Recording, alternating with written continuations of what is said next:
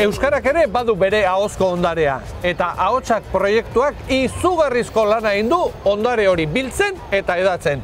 Baina intzan ez, zer da zehazki ahotsak proiektua eta zer helburu dituzue? Bueno, ba, hotzaken helburua da e, ahozko ondarea eta herrizkerak jasotzia.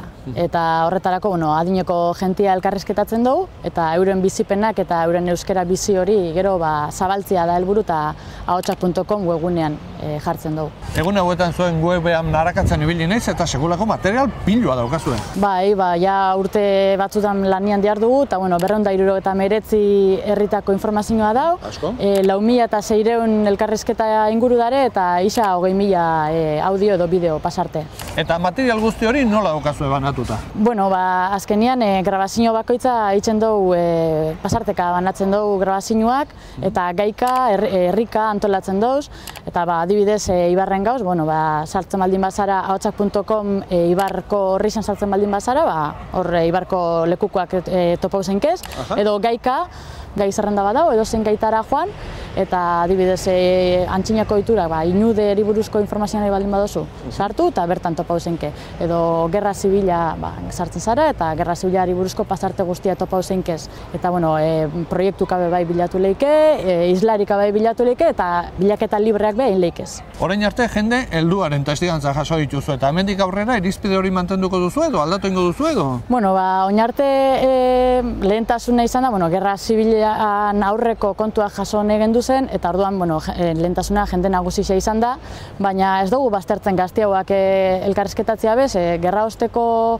hainbat kontu behin interesgarria dira, ba, bai giro politikoa edo kultura mugimendua edo ba, interesgarriak izan likez, eta bueno, bai gizartia eta bai euskeria eten ibarik aldatzen doiaz, orduan, bueno, nik uste gure jarduna be, ba, ondoren guendako interesgarria izan leikela. Eta material guzti hau ere ikasgeletara eraman duzue. Hezkuntzara bideratutako proiektu honekin asmoa da ba, lehen zu, etxeko sukaldian eitzen zen transmisio hori, aitzitza amamen gandik bilobengan eitzen zen transmisio hori, ba, ikasgelan eitzea ahots- e, ahotsaken jasotako testigantza horren e, laguntzaz. Eta, bueno, ba, oinarte herri batzutan hasi gara lanian horrekin, e, bueno, proiektu txikisak izan dira, eta nahiko genduke horri ba, indar handixa ba, motia, pentsatzen dugulako oso materiala aberatza dela ikastetxeetan eta erabiltzeko modukua. E, hor badakagu e, ikasgelan izeneko webgune bat, nahiko genduke ba, hori e, os, janztia, ezta, e, ahotsakeko testigantzekin eta prestatzia e, hezkuntzara begira dana ondo prestatzia, baina horretarako lan handixa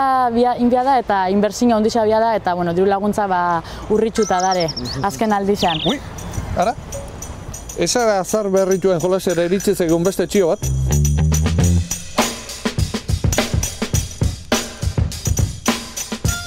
Jasotako esaera zar berrituen artean honako hauek aukeratu ditugu. Lehena Aitor Gorostizarena da. Artzainaren etxean tetrabrik. Bigarrena Jose Rojasek bidali digu. Smartphone merkea, nagusiaren nekea. Mikel Pagadik ere ezin zuen huts egin gure itzorduan. Urrutiko intxaurrak amalau, gerturatu eta Borges. Eta azkena garuna borborrek bidali digu. Twitterlari gauean, logo alegoizean.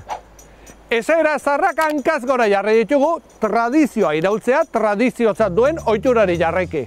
Eta zuek, gai izango altzinatekete, hau zau jasotako abestiak, esaera zarrak edo bertsoak hitzez hitz errepikatzeko, ikus dezagun.